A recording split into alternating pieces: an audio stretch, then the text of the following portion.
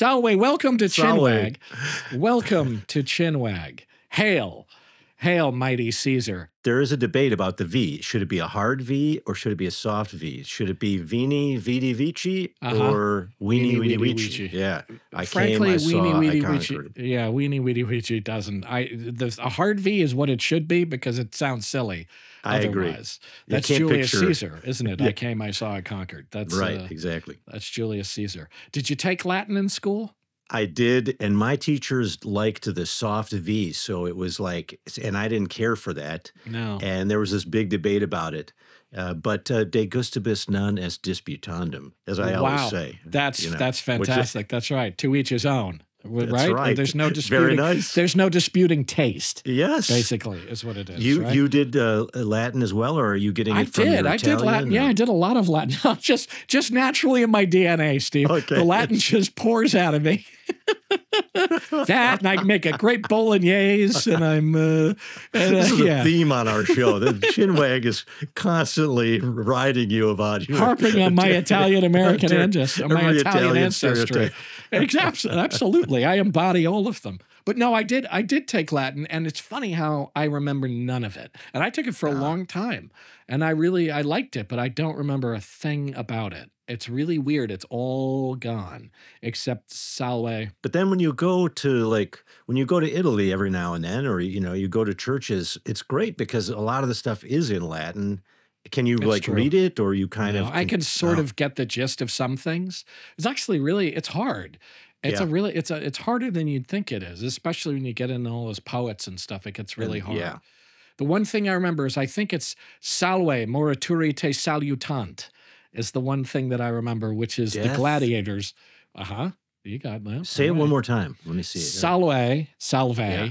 So I guess that's. I guess they said That's that. the greeting. It's yeah. Morituri te salutant. I think that's how it's said. Sit- Oh man, I know it's about death, but I Yep. don't know what the Morituri te salutant is supposedly what the gladiators said before it started, and they said, "Hail Caesar! We who are about to die salute you." Awesome, like we are who are about to rock. Yes, It's for like those, AC/DC. for those For about those to about rock. Absolutely. God bless ACDC. Those guys still around? They're not. They're all dead, aren't they? I No, mean, there's only- there's a couple of them still hanging on, still Really? rocking, still about to rock. so good for those about So to rock. good. Well, speaking of rocking, we, we we're still rocking here at the Chinwag. Amazingly, thanks to all of our uh, fine and loyal listeners. Yeah. Yeah. we we actually you. met a bunch of you for some live shows recently, and that was We so did. much fun. That was so great. Such an amazing bunch of people. So Yeah. smart, so interesting, weird in the best possible ways, and just great. And so thank you. And and continue your support, if you will, please. Please give us those five stars if you would. Give us the uh, thumbs up as the yes. emperors did in ancient except I think it's back I think we have it backwards. I think the thumbs up from the emperors was kill him. Actually, Oh my and God, we should have was asked. don't kill him. I know. Well, we should have asked. we should have asked because we we we had the great good fortune today of speaking to one of the great living historians uh not just in her field i think just a great historian Yeah, mary beard who yeah. is Dame uh, Mary Beard. She is Dame dame. Mary. Beard. Uh, yes, and she uh, we've been wanting to talk to her for a long time. I'm a huge admirer of hers So am I. and I'm a, I'm very into Roman history, and the idea that we've actually are able to speak with her is extraordinary to me. Yeah, I think she broke it open like with this book SPQR that that is like a way of thinking about Rome that people weren't it's really down in the everyday life of the Romans um and the average citizen and that's Yeah. really amazing. She wrote this history SPQR a couple years ago, which is a great sort of accessible Yeah. history of Rome, but a lot of it's about just the sort of the life of Rome and not necessarily all the people we know about, but the people Right. we don't know anything about. Dame Mary Beard, first dame we've ever had on Chinwag. She's the author of, Not among many other things, the best-selling Fires of Vesuvius, which is a great book about Pompeii, Women in Power, a manifesto, and the National Book Critics Circle Award nominated Confronting the Classics, as well as the book you just mentioned, SPQR, A History of Ancient Rome. Her latest book is Emperor of Rome, which it's fantastic because it's a really great, smart way of kind of accessing a lot of the history by talking about these emperors, these sort of figures that we do think we know a lot about or think we have some idea about, but we may not, in fact. And she she also has an amazing sense of humor and is a great storyteller. So people imagine that if you're a classicist, you must be kind of a dry, dusty bore. No. She is very far away from that. Fantastic. Yeah. And makes it super accessible and super exciting. And uh, here we go. Salwe Mary Beard.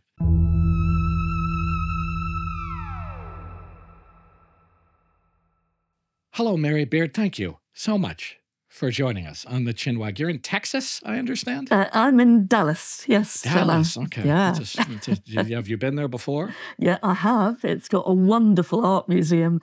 That's I- true. yeah. It does indeed. Um, thank you for joining us. I'm a big admirer and and and I'm a great fan, and so it was very exciting to be able to talk to you.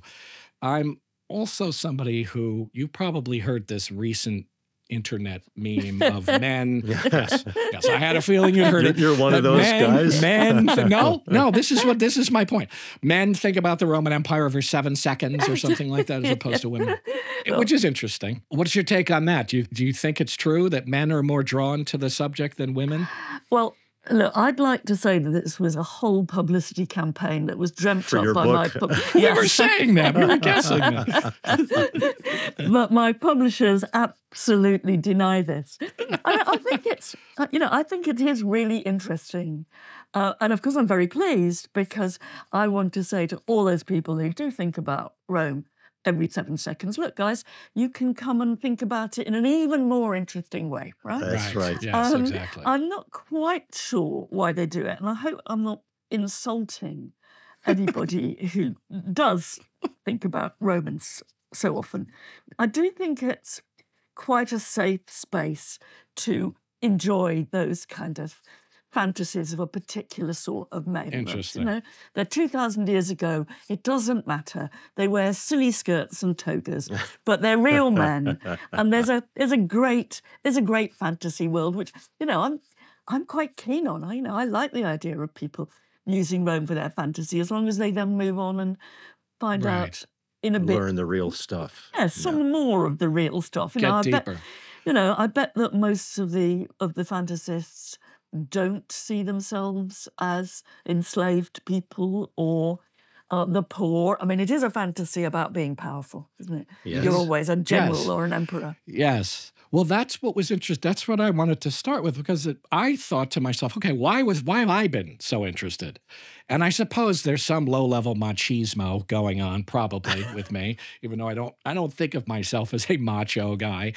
But I thought it's interesting. A lot of your I kid- characters are like that. Though. None of my you characters are macho. Well, really? Are they? no, they but, are. uh, I don't know. But uh, what was interesting was I thought when I was a kid, I went through sort of this a kind of dinosaur phase. Kid boys particularly go through that. I was very interested in monsters. I was very interested in werewolves and Doctor Jekyll and Mister Hyde. And somehow the next step to these mad gruesome, crazy people was the next sort of logical step. And in my mind, that was very much the attraction was this insanity and madmen, and which is powerful in its way. And yes, They do weird things. They do really, Yeah. you know, and you know, I, I spent quite a bit of time in the book trying to get my head around gladiators, but yes. You know, that is such a popular but also strange activity. It's horrible, but it's gripping. You know, the number the number of kids you see in Rome um, buying little model gladiators, you Right. know, is they're in their millions. Yeah. No, it's fascinating. And Steve and I on here talk a lot about imagination and the function of imagination in culture and the function of imagination in consciousness and how we fantasize about ourselves, the stories we tell ourselves, the stories we shape about narratives and things like that. We talk a lot about that. And this new book of yours, which is really great, Yeah. Emperor, Emperor of Rome. It's all about awesome. the emperors, really gets into that. It seems like it's a theme in your book is this idea of there's an imaginary emperor and there's a factual emperor. Yeah. And I thought that's an interesting place to start if you don't mind talking about that a little bit. It's a general question, but we could start maybe there because that's really interesting to me because I realized how much of it I'm imagining they were like. But then what's that a result of what they were imagining about themselves, even too? I think that's the crucial point. And um, Um, you know, when I started thinking hard about the Roman emperor, I my first instinct was to try to kind of white out the imaginary, you know, to say, Yeah. look, there are all these anecdotes about Roman emperors who, you know, never wear the same pair of shoes twice or eat very weird things or whatever. Now, I, I suspect that the vast majority of those aren't true or are hugely exaggerated. So I kind of sat down and and thought, well, what does a story look like?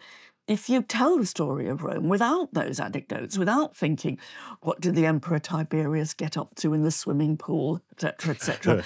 if you All of which I'd like to talk about. at some yeah, point. well, uh, very happily. Um, uh, and I suppose for a few months, I kind of had that sort of real, slightly boring austerity. And then I thought, look, this is, I'm, really going the wrong direction here because those stories, even if they're not true, they're they're literally true. They're true about the Roman imagination. You know, they are true about how Romans thought about their emperors. And we know from our own culture that uh, what we think about celebrities, or what we think, you know, in the United Kingdom, what we think about the royal family is as historically important as what these poor people get up to most of the time, Yeah. which is almost certainly much more boring than we imagine.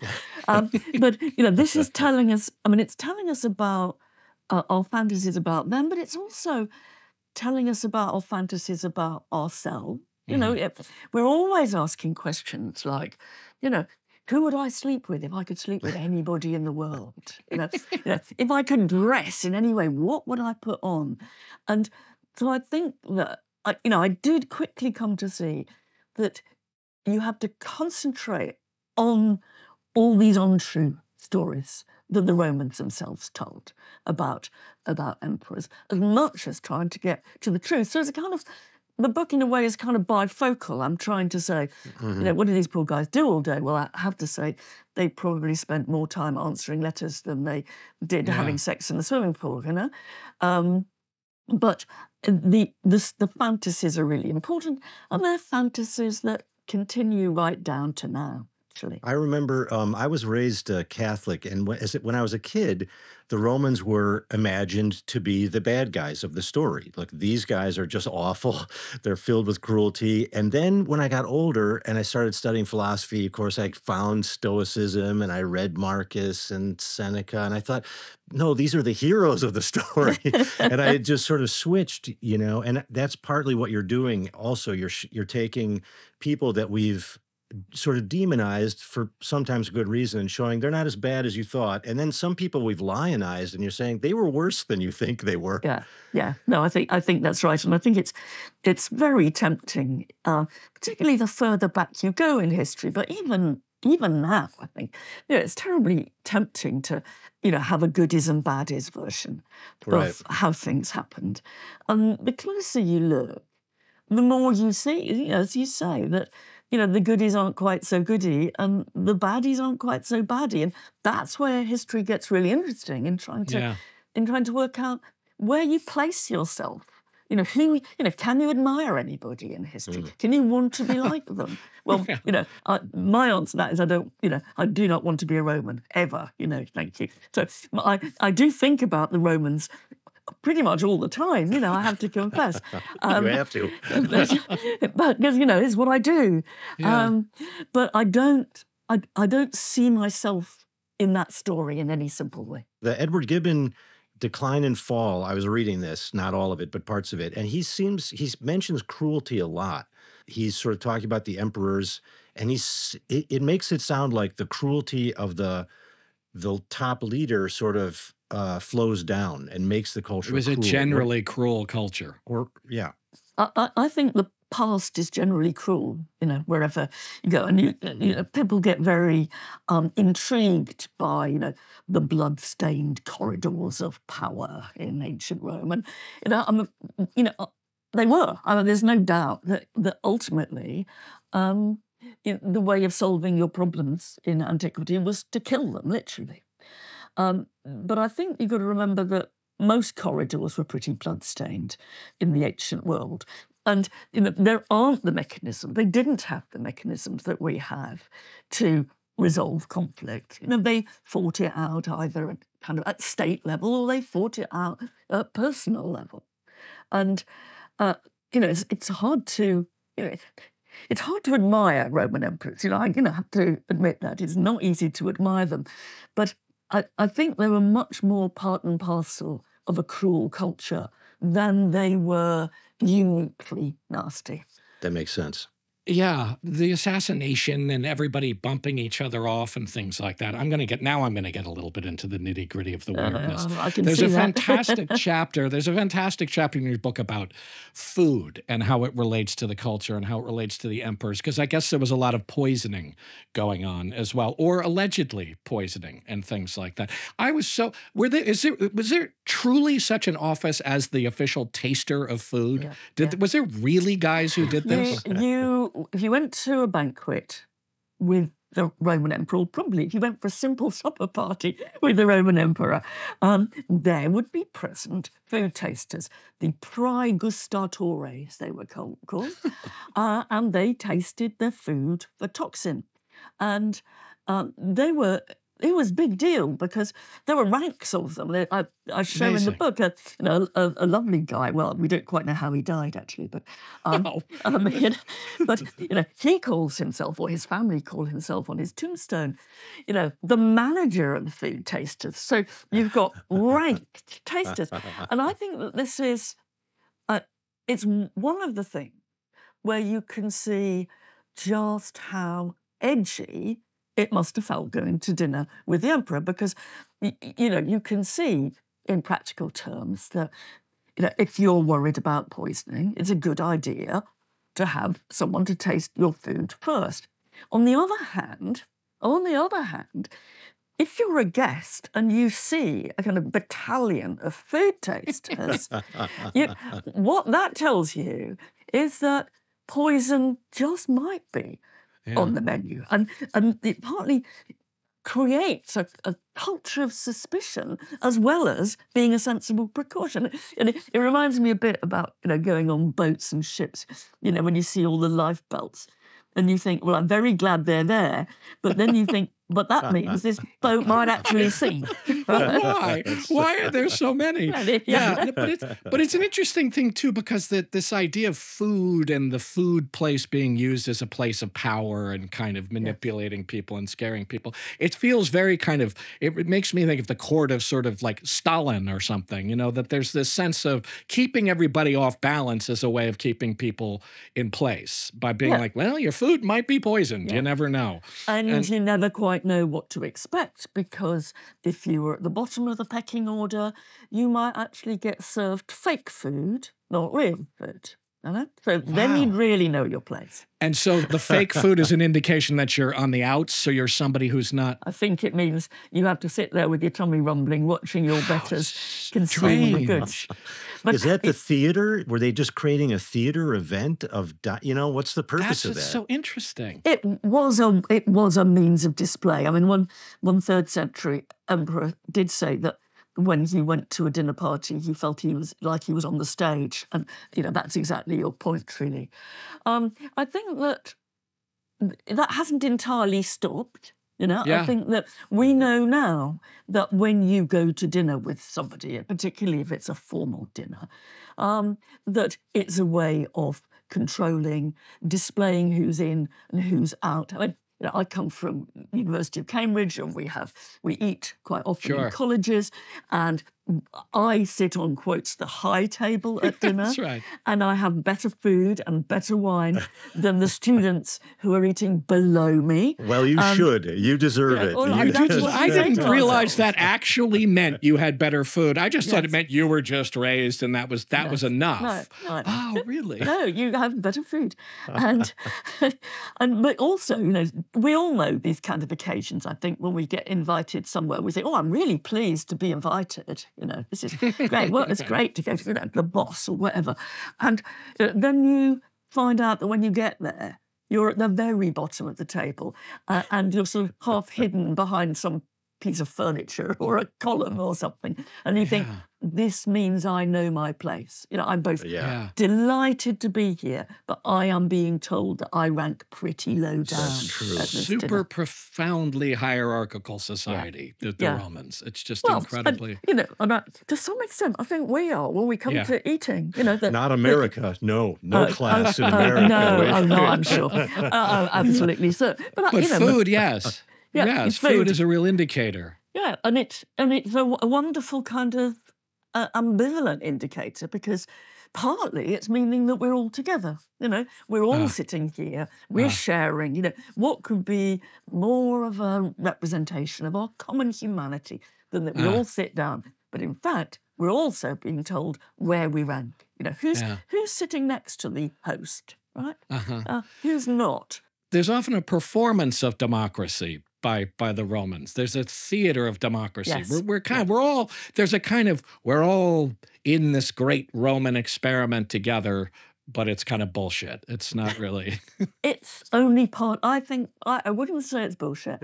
I'd say it's only part of the story. Right? Ah, You know, one thing you want your emperor to do is to be one of the lads and to get up nicely at the end of dinner and say goodbye, thank you very much for coming, um, etc., etc. And it sort of means something, and yet you also know that the whole scenario is about rank hierarchy, power, and sometimes humiliation, and sometimes death. I mean, you know, one of the best stories in the book, I think, is uh, about a third century emperor Elagabalus, and he at one dinner party is said, and I don't believe this for a moment, but I think it's important.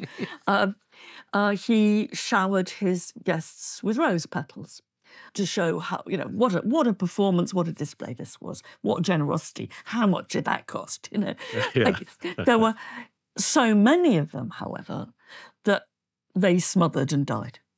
And God, I so- hope that's not true. Well, we, we had to See, I kind of do. I kind of You hope think it's that's true. true? but you know, I think it's kind of interesting because it partly shows that this he was a teenager. He's a teenage emperor, Yeah. um, and it shows that he doesn't have, you know, he's he, he's idiosyncratic, out of control, and a bit juvenile. But it also reminds you, and I think this is why the story gets told, is that when the emperor is being at his most generous, he's also at his most dangerous. Ah, you know? That's amazing. So it's kind of so it's focusing you not just on you know, a rather engaging and silly if cruel theme. It's focusing you on how you can't ever trust the emperor, Yes. even when he's nice.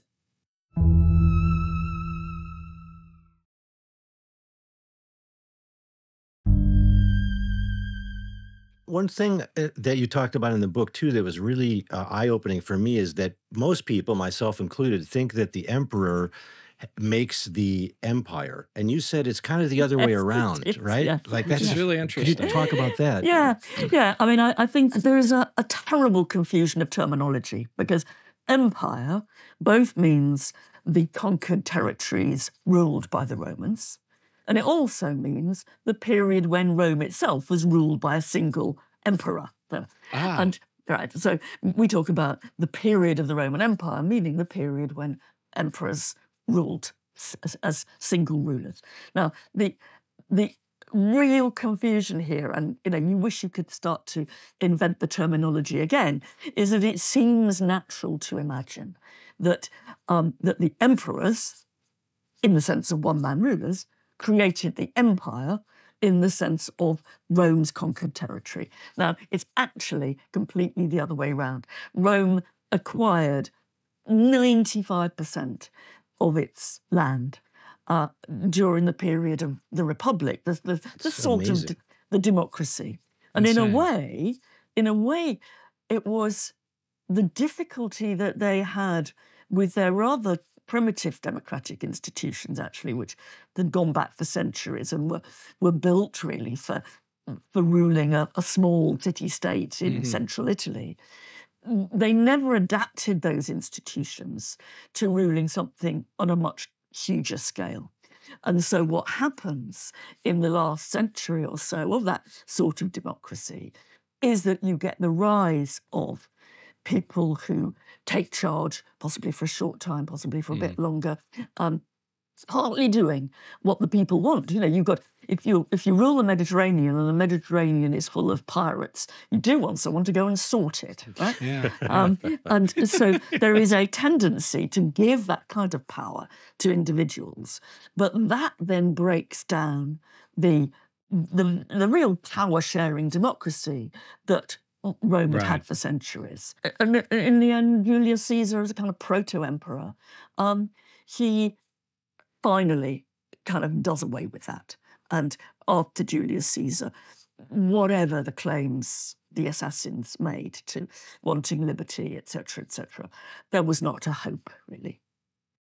And Augustus was more important, you think, because he kind of codified the, follows the Caesar. system Yeah. or something? Yeah. Yeah, what happens after the um, uh, the assassination of Caesar? Which, I mean, Brutus and Cassius, the lead assassins, are a, a nasty piece of work, actually, both of them, um, and they've got very, very good press from William Shakespeare, and they're damn lucky. See, that for was that a fascinating thing to me. That they're they're they're kind of awful, self-interested sort of. kind of awful. They've got a good slogan in liberty. You know, we know that liberty can often be uh, a very good slogan, but it often doesn't mean liberty.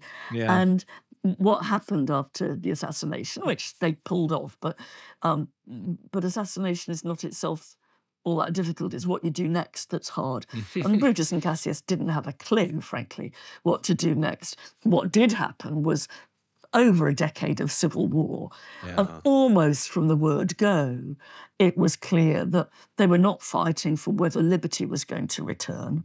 They were fighting for who was going to be the sole ruler. And in the end, it's Octavian who rebrands himself as Augustus, takes a new name, who's the last man standing in the Civil War. But it takes 12 years or so That that And in all that time, resolved. the average Roman on the street is going through his business while these guys are all killing each other and lunat- lunatics running around. And your average Roman is just going through his day. And uh, who's running it during that civil war? That's a very good question, and it's and it's quite hard to to know how far the average Roman is going through his day. Uh-huh. I mean, I think that it's likely that this was really fought out at the top rather Uh-huh. than it is likely. But there were times when in the city of Rome, people had a price on their head. Yeah. And, you know, if you literally beheaded somebody and took their head along, you get a reward. And there is at that period a complete breakdown of, of, you know, I mean, Romans aren't good at law and order anyway, despite their great reputation. Yeah, they have a real legal- reputation for that. Legal Wild codify. West, yeah. But they don't, you know, it's the Wild West with, you know, a superstructure Yeah. of legal theory. Um, and uh, so, you know, there's no police force. There is no way of um, ensuring control of the basic safety of the citizen. And so, quite what it was like to live then. You know, it's a good point. You're, you're, better off outside the city, I think. If you've got a nice small holding 50, 100 miles away from Rome, probably keep your head down Yeah. and hope for the best. speaking of people sort of outside the city, that most people, and particularly in this period when there were guys who were emperor for about five months, maybe a year, people didn't even really know who the emperor was necessarily. Didn't know his name necessarily, really didn't know what he looked like, except for the money, which I think is interesting. And are they the first ones to sort of coin, make coins with the guy with the with the guy's face on it? Is that Um, there's a, there are a few precedents in among the Greek kings in the Eastern Mediterranean a bit earlier, but basically, it was Julius Caesar who started the l- totally lasting tradition of putting the living ruler's head on the coin. Up to that point, there'd been plenty of portraits on Roman coins, but they were all of dead guys. Um, Nice. And it was seen as an absolute revolution to put the living, in Julius Caesar's case, dictator's head. And that goes then right through until up now? until now. Up Yeah. until now. And so the only way you're going to know that, I don't know, Pertinax is the uh, emperor who's so obscure. The only Well way you're going to done, know is if Paul. you, some guy Pertinax. pays. I know, I like that guy. Is the only way if somebody pays for it and you're buying fish in Spain and they hand you a coin, you go, oh, this is the emperor. This is the guy right now. And I mean, I think everybody in the Roman territorial empire. Knew after Augustus that they were living under an emperor. There was that's where they paid taxes. And when we look at the way they talk about people in power, they'll often talk about the emperor. What happens if you dream? Is it a good sign to dream about the emperor? But uh, uh, yes and no is the answer. But it, it doesn't look as if those outside the elite in the provinces had much clue um, who they were. They, you know, they would get they'd look at the coins and if they could read they'd get some passing indication but mm, mm, mm, you know one of the reasons that i don't get hung up on biography in the book is because i think most romans didn't and even the educated found it hard. I mean, there's a, a wonderful papyrus that I illustrate that comes from the Roman province of Egypt very neatly written. It's just a fragment, but it's very neat handwriting. And clearly, this person, I imagine a man, could be a woman, um, was trying to make a list of emperors in chronological order with the length of their reign. And he gets some of them right, but he gets an awful lot of them wrong. Amazing. You know? And I think, well, if I sat down and I started yeah. to make right. a list of English kings, you know, I couldn't tell you what century Edward III uh, was. That's absolutely right. Yes, you know, I, I sort true. of know. I know about medieval yes. kingship. I feel better a, now. Yeah. well, yeah. Better. Well, and over here, I think I think people have certainty, any certainty about maybe three presidents that they're pretty clear on. The rest of them are just who the hell knows where they. When I was uh, living, I lived in China on and off for the for twenty years, and there was I, even now Americans will look at the Chinese and they think, oh, the government is is controlling you all the way down to the little person. But there's a saying in China that I used to hear, which is it's a very old saying. It's you know, I I grow my crops, I I draw my water. What care do I have for the emperor? And it's like there's a whole world happening Yeah, that that's they don't even Yeah. know. They don't have any No. contact with the top level. No, It's no. similar. No, I think I think that's right. And there's you know, there's there's a kind of huge image we have of you know knowing our history. I mean, a friend of mine did um, was getting American citizenship, having been born British, and he had to learn up all- the presidents and vice presidents. And when he when he Wow. went, my God. you know, God, that's difficult. When he went for the interview, the person interviewing him said, you know, could he name the 23rd vice president? and he said, yes. And the guy said, that's okay then. He's not going to know. Yeah, that's that's I hilarious. passed that test. Wow, vice presidencies. Fascinating. But this That's is difficult. but- but this makes me think though too of you you've emperors and then there's empresses and they tend to in our fantasy world, at least mine and how it's been handed down, be these kind of behind the scenes Bond villains who are kind yes, of are. Yeah. who are kind of the masterminds of yeah. the whole thing, which I always wondered about this and how much of this was propaganda, how much of this was meant to make the emperor look bad or You're absolutely right. It is probably true that some of these women had more power in Rome than any women had had before in the city. That's mm-hmm. probably true, largely because they were close to the emperor. And when you have that sort of palace monarchy, the people who sleep with the emperor or shave him in the morning or give him his massage or whatever, they have power because they are close to him and they can bend his ear. And I think that's that's certainly the case that you find a sort of subversion of, of status and power when you get to the empire, because you know, the slave barber can tell the emperor what he thinks should happen. and do we Mm. know that this was actually happening? Yes, we, we pretty well do. Yes, Somebody's barber was actually like, to be strictly true, um, there are complaints that the traditional elite make about how they are excluded from power, while the barber or the cobbler within the palace has, that Interesting. different. Okay. It was certainly perceived. But I'm prepared to go along with the idea that you know, there's there is, in practical terms, there's more power for these very few individuals, but who happen to be close to him. But I think that we have a rather more kind of dramatic image, as you say, of somehow, uh, particularly the wives or the daughters or the mistresses, being the power behind the throne with a clear desire to control how high politics went.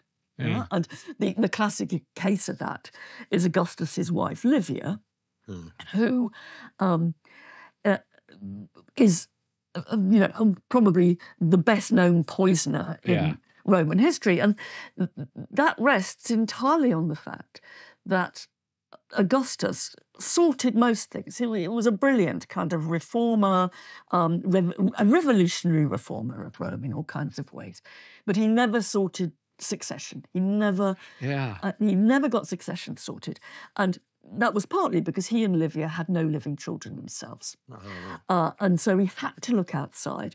And he chose a series of heirs, all of whom died, until the only one left was Livia's son by her previous marriage, who Right. becomes Nice. the Emperor Tiberius. And Mm. the, you can see that in trying to explain that, which might just be real bad luck, the story arises already in the ancient world. You know, they, they say, who was a beneficiary of all those deaths? Livia's Yeah. son. So, Mhm. who was behind all those deaths? It was Livia. She's used as a kind of way of explaining why that happened in a traditionally misogynistic way that we Yeah. still use. I mean, uh, uh, right now in the UK, um, we're debating why Boris Johnson made n- not exactly a stunning success of um, the preparations against COVID. Mhm. And what is being said? It's it was the- Mrs. Johnson. It was Oh. Carrie. Right. Interesting. Now, Yeah. We have no clue what happened, you know, in Yeah. the Johnsons' flat and what Carrie said to Boris. Absolutely no clue. We can only guess. But it's always easy to say blame the woman, and you know that is that happens here. And there's a way too of being able to because Tiberius, right, is is the is the one who takes over from Augustus. That's her son. By and so it's another way of defaming Tiberius too, Yeah, and saying, "Oh, he's not as good as the other guy was." Mm. And it's like, yeah. So it's all of that kind of clever use of propaganda. Oh, yeah, and it's all in a kind of you know a political set of debates, standoffs, um, uh, enmities, and Yeah. you're using you know is is the emperor too much enthralled to his mum? That was often a question that was Uh-huh. asked, and if the answer is yes, or really, it, that's one of the ways saying he's no good. You know, Right. Mum, it's always mum, and sometimes that goes to to extremes. And Nero is only one who was said to have had an incestuous relationship with mum. Oh, it's even like way before Freud. This was a this was a s- story that was being completely told. fascinating. I mean, all the incest stuff. How much again do we know? Is it true, or again, is it a defaming tactic? Is it It's like- Suetonius? Is he the guy that like makes up his stuff? Or He in part does. Tacitus, mm, um, has a rather more subtle innuendo about it. And, of these are all these great Roman historians, Yes. Suetonius and Yes. Tacitus, Yeah. and yeah, who were writing these these epic histories. and modern historians have loved it. You know, they- Mhm. it's you know a great story. You know, Nero and his mum, and did they finally quarrel? And then he killed her. You know, because he was wanting to have a nice young girl, and mum was now a cast-off mistress and getting in the way. Uh, and the, the story writes itself. Whether whether any of it is true is really hard. It's really hard to know. I, I mean, I think that you'd be you'd be foolish to say none of it was. But the problem is you can't say which bits are. yeah, And Yeah. I, I think in order to write the history of the the empire, and but particularly the of the the stories of the sequence of emperors, you've got to find a way of not getting hung up on trying to decide what exactly is true because you haven't you, you've got no means to do that. But that's just. But it, it's this is where my head starts to spin about history in general. I'm like, how do you do what you do, Mary Yeah. Beard, if you have all of this information Yeah. and presumably you're getting more information as the sciences, archaeology, all these things get better. You're just getting more information, which maybe makes it easier, or does it? Does it make it harder actually to decide? More information usually makes it harder, but it makes it richer. And now I think in, in many ways the fun of Roman history or the challenge of it is finding finding a way of talking about it that is has got as it were historical bottom, Yeah. but doesn't pretend to know what it doesn't know. And I, I think a, a lot of modern history writing, um, and I'm not going to name any names, but it's a, it's a huge temptation to be cer- be too certain about things. Mhm. And mm, I, I mean, I, I hope that I found some ways around that. You know, by thinking about so what is that anecdote telling us, whether it's true or not? And that's you know, h- how do people think about the emperor? And you can put that together a bit with much more um, down to earth, everyday bits of evidence about you know what the emperor did, the law cases that he adjudicated, the way that he replied to the begging letters that came into him, because many of the emperor's replies are actually preserved. They're on papyrus in Roman Egypt, or they're inscribed on stone and displayed um, in Italy, or- or other parts of the empire itself. So you can you can actually, in a strange way, see quite a lot of what the emperor does every day, uh, and uh, and a lot of that, I'm afraid, is pen pushing. right. Yeah, one of, Of the course. stories you told Massive was that bureaucracy. he- he's dealing with such. I was ast- I was astounded to find that he was dealing and adjudicating really like small micro offenses, like this chamber pot comes out of a window. What was that story? It's a great a- story. this is a wonderful story, which ends up on the Emperor Augustus's, you know, in his intro, right? Amazing. and it's from Knidos in modern Turkey. And there's there, there's been a long-running kind of warfare between two families, two rival families in the city, and one of the families obviously goes around and bashes up the house of the other family at night on a regular basis. the, the family inside the house get annoyed and they tell their slave, one of their slaves, to go upstairs and pour the contents of a chamber pot on the head of the people who are being a right nuisance underneath. the slave does this, but also whether whether it's on purpose or not, I don't know. Um, he drops the chamber pot as well as the contents. And the chamber pot hits one of the guys on the head and kills him.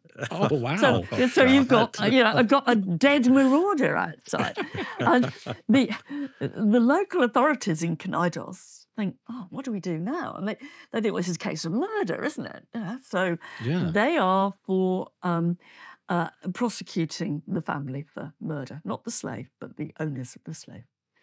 Uh, they take their case. We don't know quite how they managed this, but they take their case to the Emperor Augustus, who obviously reads through this, what must have been slightly kind of, uh, well, fascinating, but occasionally tedious documentation Yeah, about the right. And Augustus, or whether he's advised by his advisors or not, we don't know, decides it was legitimate self defense. Uh, and they get let off. That's amazing. That's, That's hilarious. And Just it's- insane. It is. I mean, it's great because what it reminds me of, you know, that is that uh, if you write about the emperor, you're not just writing about you know, posh white men at the very top of Roman society. You're seeing through the emperor's eyes Yeah. the lives of the ordinary people, Yeah. actually in more detail than almost any other way of reaching those lives, Yeah. because they are bringing their problems about their dead cow that's got killed in enemy action, things like this. They're bringing those to the to the emperor, and and you, you see them in Technicolor.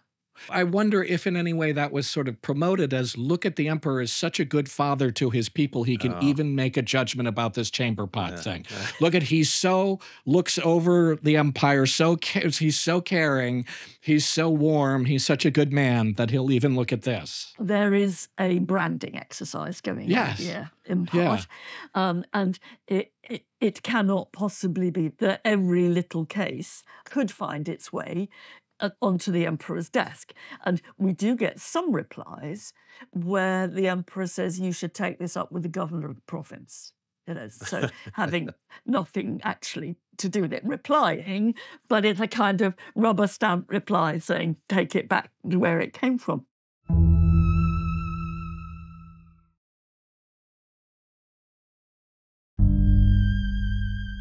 Um, but you you do you do see that people are using their contacts to find a way actually to get to him and some of those do. There's a, a another lovely case that I talk about, a little town in the Balkans, which is having real trouble because the, the Roman soldiers from the nearby bases are coming and trashing their town every now and then.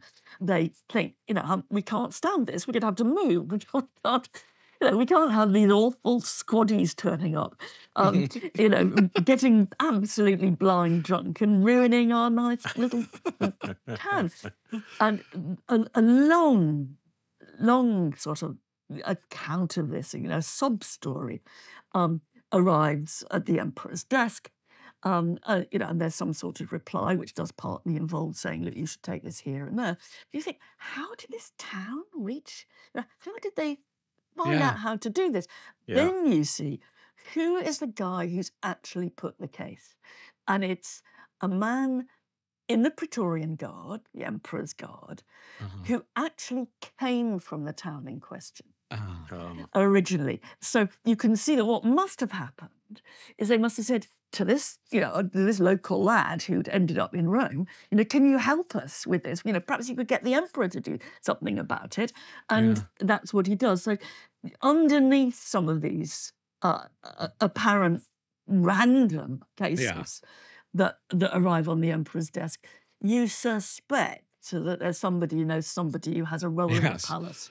It's amazing. It's the, the uh, the amount of this kind of amazing detail with the Romans is one of the things that makes it so fascinating to me too. Yeah. There doesn't seem to be any of this kind of granular detail with any other classical cultures. you talk about this in the book as uh, the mobility of people in Rome is an interesting question. Like, how do you move from one, like this guy you talk about, a Thrax or Maximinus, he was kind of like a, a so called barbarian and he ends up as emperor for a short time anyway. So there was there was mobility, but it I think when we look back on it, we oftentimes don't see that. And then sort of the second part of this question is, you know, we know that there's slavery in Rome, but it's not my understanding is, and you please correct me if I'm wrong, it wasn't the skin color based slavery that we're accustomed to in the Atlantic slave trade. It was a different kind of thing. And I wonder if you could explain a little of that. No, I mean broadly, I think the answer in a, in a way to both those questions, but I'll come to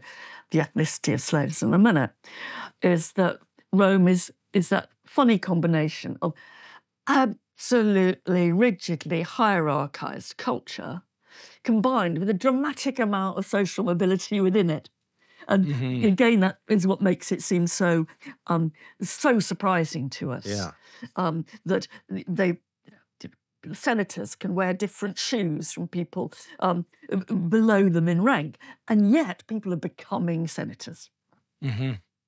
And that again, I think, is is well, it may be more typical of hierarchical cultures than we imagine. You know, that, hi- that the, the hierarchy is partly sustained because they mutate. Oh, you let new people move around. Yes, Interesting. You, let, you let people move up. The question you just put is is the reason why it is very, very hard to compare Atlantic slavery with Roman slavery. Uh, If you asked a- an elite Roman to close their eyes and think of an enslaved person, they would probably see a red-haired German. Now, some people from Africa did become slaves. People from everywhere became slaves, and Romans, if they got captured by other people in unsuccessful warfare, they became slaves. Um, Yeah, th- uh, that interesting. The, the removal of those basic citizen rights was, was part of the whole culture, uh, and it was not restricted to any particular social group. Interesting. And that obviously makes it an extremely different scenario from any kind of modern slave culture that we, we know. And, uh, and Roman slaves, at least domestic slaves, and I'm pretty certain that this would not have gone for slaves who worked the mines or slaves that worked the fields, but domestic slaves were regularly freed, probably in their 40s or 50s. Uh, and they, at that point, gained almost every political right that a freeborn Roman citizen had. Wow. Um, they couldn't hold political office, but their sons could.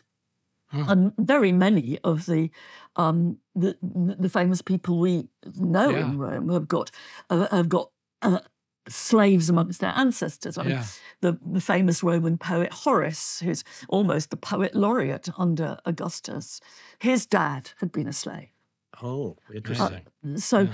and some people reckon that by the time you get to, let's say, the second century CE, and this is very much a guesstimate, but something like half the population of the city of Rome would have had slaves somewhere in their ancestry. Uh-huh.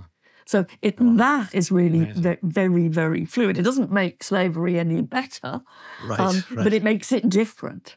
And it- it's also the case that some of the slaves, and there are very few in number, and they are not typical slaves who work in the imperial palace, are in positions of considerable administrative authority. Now, they still get sneered at by the freeborn um, Oh, citizens also. You know, so it, Rome is, you know, interesting again because they're both appallingly snobbish um, uh, and yet uh, provide access. Of, Strangely magnanimous. Yeah. yes, it's kind of a very. I, I think it's Very uh, it's probably more. Uh, uh, it's probably quite a typical ambivalence, I think, in in all cultures like that. So it's a it's a real uh, mishmash of different statuses, and then you get people. uh, You mentioned Maximinus Thrax, who was um, an ordinary soldier, really, who came from Thrace and apparently couldn't read, but that's probably a slur, who becomes emperor in the third century.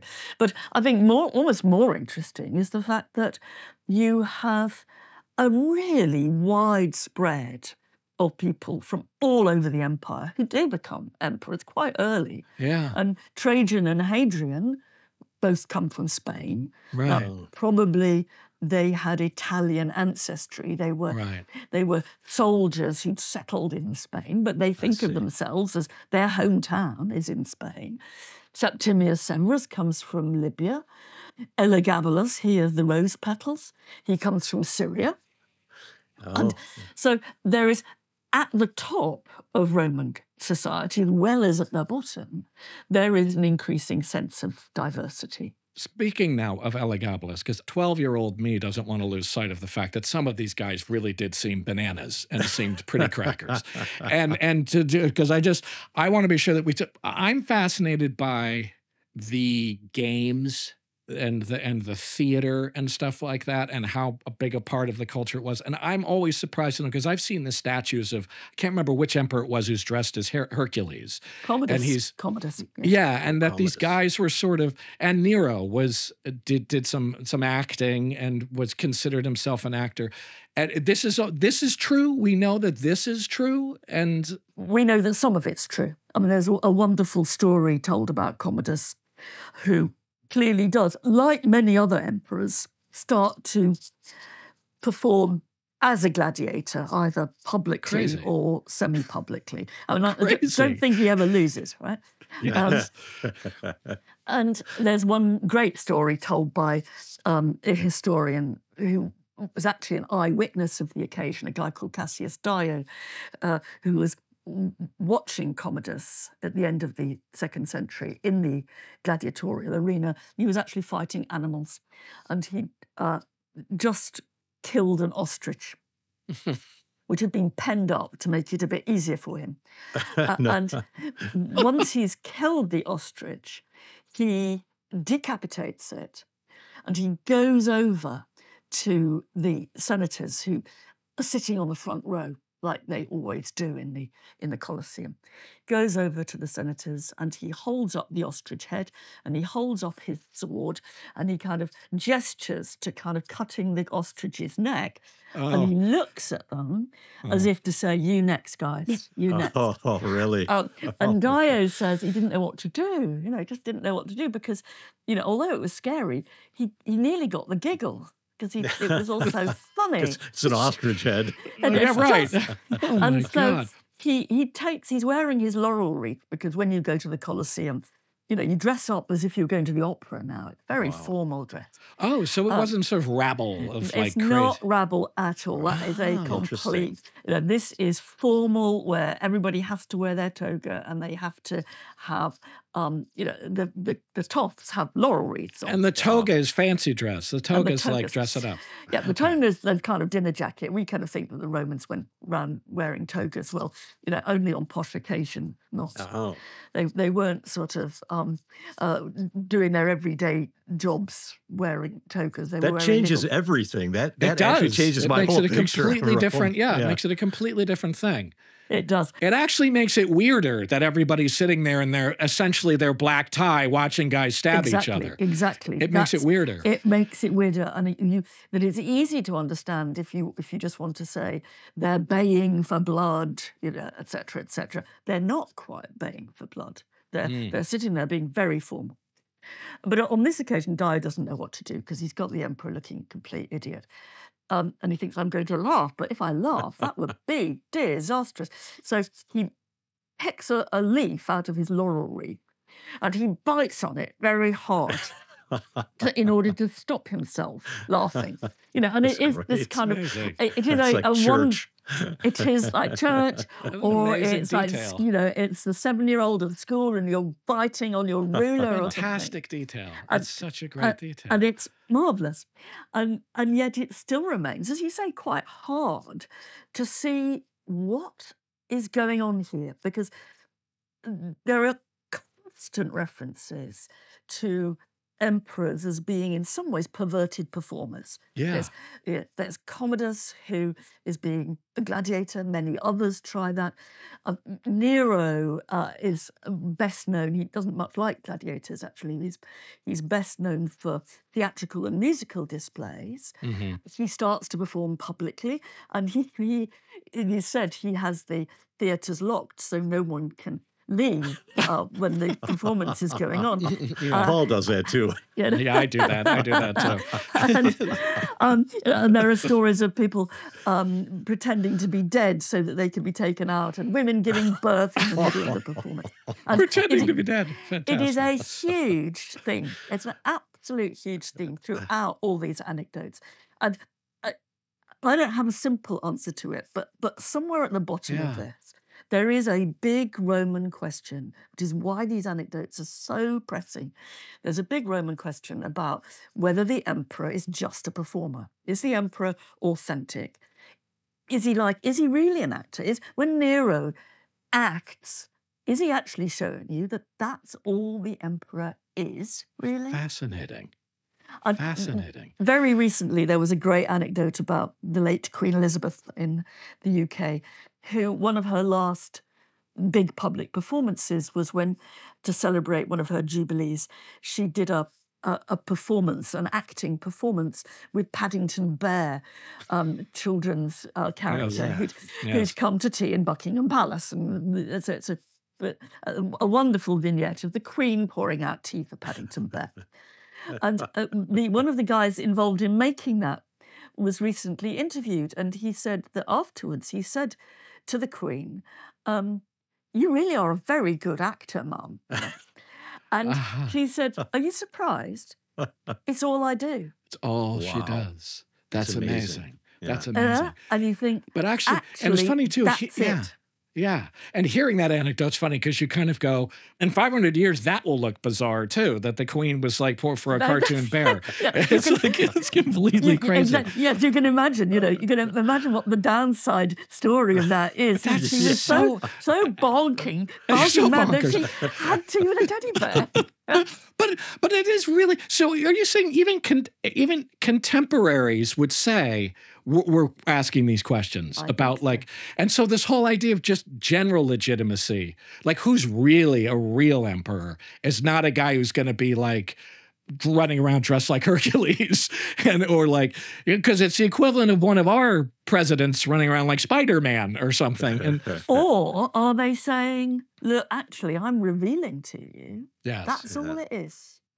And Augustus's last words, as reported, and you know, no last words are ever actually uh, accurate, I don't think.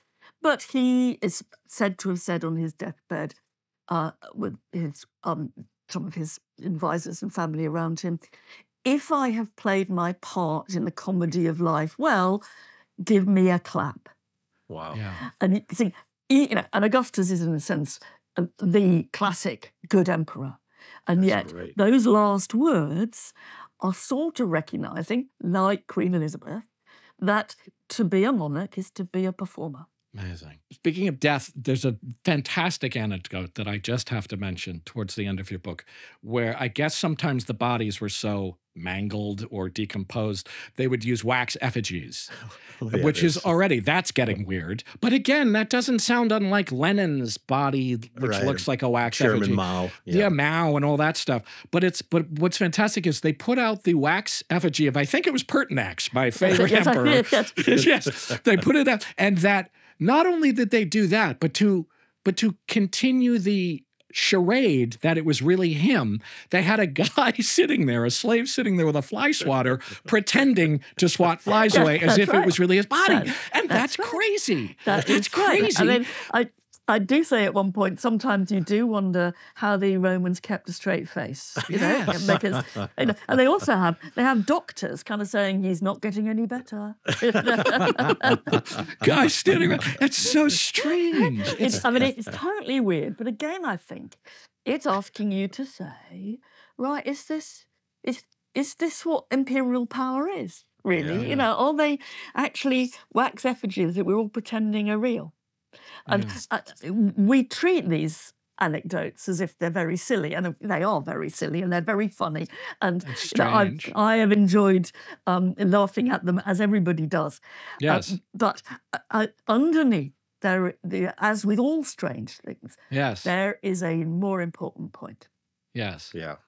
That's what I think I in the end your book did for me and brought me it's it's that it's that realization that the weirdness is is deep and meaningful actually it's not just weirdness it's no, really no, that's right. It's, it's weirdness with a point. This went on for hundreds of years. It's not just it's not just silliness. It's not just weirdness. It is weirdness making a point about things. and just as weird now in some Yes. ways Yeah. We have like uh, now. I we, we want to be mindful of your time, and you. Yeah, I know, you've, 'cause you've got to go. But I- I just I wanted to make one one more point. Was you talk a lot about autocracy, you know, in the book, and we're living in a in a moment now where there's a lot of autocratic power machinations, and and I'm just thinking like if the the just like the emperors, we thought they were running the show, and actually it's a oh. deep state kind of thing Yeah. that's something mo- both sort of like relieving about that because some of these wackadoodles then aren't important but Yeah. there's also something creepy about it because Yeah. that means the machinery below the autocrat is also a rapacious you know imperial Yeah. power too Yeah, no, it is. I, and I think that those are the kind of questions that Roman history helps you yeah ask and answer. I, I mean, not. I mean, well, when President Trump was president, um, the commonest question I got from journalists was, "What what Roman emperor is he Right. most like?" oh Yeah. interesting And and I always used to say Elagabalus, um, not because not because I thought that was true at all, but I thought they wouldn't have heard of Elagabalus. So it was, you know, um, look it up yeah, then they'd have to Google it, actually, you know. Um, but I, I, I think that it's at that just that s- second deeper level where you do start to see um, some of the big questions about autocrats, about who's running the show, and about how how people critique empire and how they critique Yeah. their rulers. And you know, quite recently, um, Rishi Sunak in the UK got into trouble for being an actor because, in fact, he wanted to show that he was a real man of the people, which he certainly isn't. And he went to, and, and he wanted to reflect problems with fuel prices. So he went to fill up his car with petrol, but he had to borrow a small car so he didn't look as if he was Oh, really right. grand. And he that's the clearly same didn't, thing he didn't know how to work a petrol pump, um, really. And uh, so what it revealed was that this was an act. a then you say, charade so if this is a charade, where's the power really? And that's one of the questions that's being asked. fantastic Okay, uh, we have hit our final moment with yes. you, Mary Beard. We did Thank that very well. Thank, Thank you, so much. Thank you. Thank you so much. Thank, A real pleasure. Nice to talk to you. Thank you. Bye. Bye. Bye. That was a great conversation. Amazing. Fantastic. She is, yeah. I, I feel like uh, listening to Mary, like you can feel your IQ rising. She makes us smarter. Amazing ability to put an incredible amount of thought and information into just really accessible space so that it's really she's amazing. And that stuff is fascinating to me i don't know why i'm all i've just always been fascinated by the romans and it's it's amazing to be able to talk to her so many weird things so yeah, the stuff about the stories. the stuff you were asking her about the food and the games, and also the stuff about acting is really interesting because you do that for a living, and Yeah. the the emperors are kind of doing it as well. Yeah, well, I've always, and I was so I wanted to ask her, but I've always because I know that a lot of the emperors ended up sort of hanging out with actors, and actors started hanging out in the court, which I've always Yeah, thought was why? a bad sign. I don't know. I think it's a bad sign. Low I character. yeah, I think it's a sign of a decline, and you know, of things declining, of people's morals declining. You know, because I think once you start palling around with actors in, the, in the seats of power, you're like, you're definitely on the way. I wonder. I do wonder too, like what they thought of actors, whether they were, I, and I think they did have still a low opinion of them, which it seems like most people have always had low opinion of actors. I don't know. Like, um, I feel like now, I think I feel like d- actors get a lot of respect now. Maybe I'm wrong about that. I mean, you're the one who's uh, in the seat, but Well, exactly. And once again, I feel like actors are kind of like people are palling around with actors more because it's a bad sign. that's a bad It's, sign. I think it's a bad sign. I really do. Where it's the end. I, I also, I, as a professor, I feel like uh, the American culture doesn't respect professors that much, whereas like in in like China and in I think in parts of Europe, professors are more celebrated or there's more respect for them. I feel like, but that's the insider's point of view. But as an actor, like, do you feel like it's almost like there's two levels of actors. There's people who who are artistically Yeah. respected, and then Yeah. there's sort of like people who are just um, doing I don't know Yeah. a craft. Uh, I don't know. It's a fiction. They're all the same thing. I mean, it really Okay. is. It's all the same. As far as I'm concerned, it's all the same, same gig. Some people just make it look classier, and some people pull off a classy thing that other people do. You know, I mean, but it's all the same thing. It's And then people people want you like once they've seen you in one kind of thing, they want you to stay in that kind of thing. If they liked you, play a That's certain true. kind of part, like do drama because you know. Sure, that can happen for sure. Yeah, definitely people can. And you know, it's it's a weird it's a weird business. It's a weird profession. it's a very weird profession. But but I think that's fascinating the idea that these guys in power are actors in some way. Yeah. Is true. I mean, so much of it is is acting and I look at uh, American presidents yeah, or British monarchs. yeah. Some of them have had ties to acting. Even even True. the Cambodian, um, uh, the king of Cambodia, during like the seventies, was making little films and stuff. Was he had like his own little film company and wanted to do acting. Really? And I think even his children, some like some of the sons, also went into acting. So there is some connection there. There's a definite and- connection between them, politics and performance Yeah. and stuff like that. Anyway, super interesting, Mary Beard. yeah. What a pleasure. And She was what a pleasure to be with you again, Professor Stephen Asma. Likewise, my friend. Indeed. And, and Mary sort of appreciated the weird, just as our fans do. So wag on, weirdos. Indeed.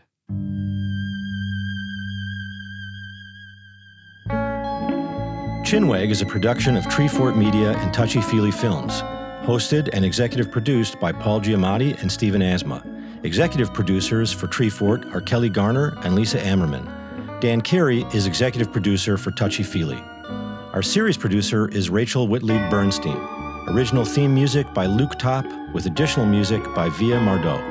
Oscar Guido is our executive in charge of production. Tom Monahan is head of audio for Treefort.